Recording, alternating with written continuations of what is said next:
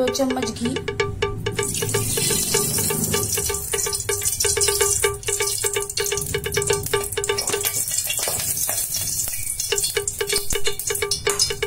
अब हम इसमें ऐड करेंगे ड्राई फ्रूट्स तो मैंने यहाँ पे बादाम लिए हुए बादाम भिगे भिगाए हुए थे। भिगाने के बाद मैंने उनको छील लिए हैं और चॉप कर लिए हैं। और यहाँ पे थोड़ी चारों ली है। इसके सिवा आप कैश्यू पिस्ता कुछ भी ऐड कर सकते हो। थोड़ा मचा के रखेंगे फॉर गार्निशिंग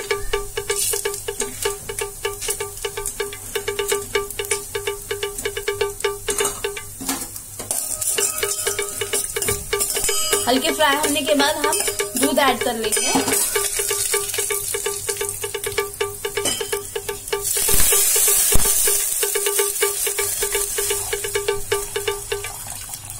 ये लगभग दो कप के इतना दूध है। इसे हम मीडियम फ्लेम में चला लेंगे।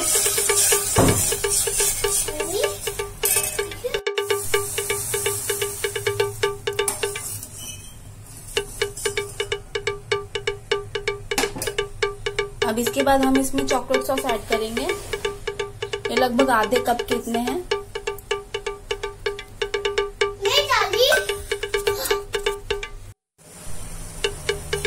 यहाँ पर देख सकते हैं कि दूध और चॉकलेट सॉस अच्छे से मिल चुके हैं। अब हम इसमें सेवैया डालेंगे।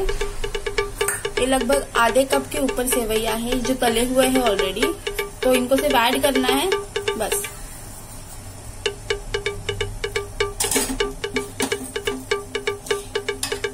इनको ज़्यादा नहीं पकाने हैं। इनको बहुत कम टाइम लगता है पकने के लिए।